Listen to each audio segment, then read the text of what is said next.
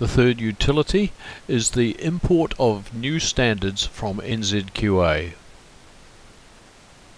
This process takes the latest standards.txt file from NZQA and imports the unit standards into the database.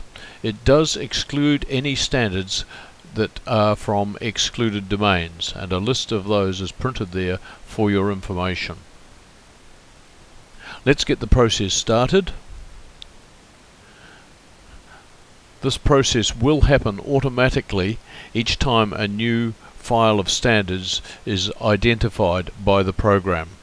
It can be automatically downloaded from the website and following that process this process will take place to import the standards into the database.